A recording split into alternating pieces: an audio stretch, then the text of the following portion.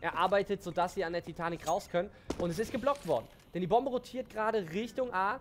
Cyclone steht auch da nochmal defensiv. Sie bieten Argo den Kill jetzt also nicht einfach an. Arcor greift ein, äh, aber Furlan macht das hier nochmal gut. Er kriegt einen zweiten, weiß das hier noch einen Close. Furlan mit dem dritten. Und Furlan macht was? sogar Kill Nummer 4 im Alleingang den Spot oh aufgemacht. Gott. Und was ein schönes was Ace ein von Furlan. Ace, Mann. Sehr, sehr geil. 11 zu 4. Ganz, ganz starkes Ding von ihm. Einer nach dem anderen. Drei, vier Schüsse mehr.